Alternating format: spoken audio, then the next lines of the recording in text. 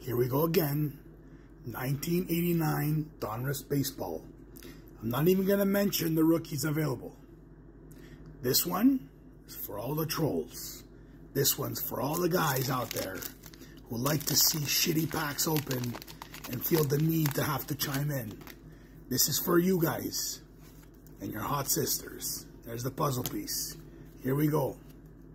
Luis Aguayo, Rich Yett, Gene Nelson, Luis Aquino, Jerry Browne, Pete Harnisch, rated rookie, Chad Kreuter, Tracy Jones, Glenn Hubbard, Luis de los Santos, Bud Black, Jeff Hamilton, Hal Morris, Tom Bolton, Michael Bolton's brother.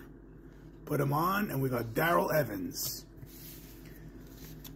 Gonna say disappointing, but it was expected, so how could you be disappointed when you expect shit? Trolls, fire away.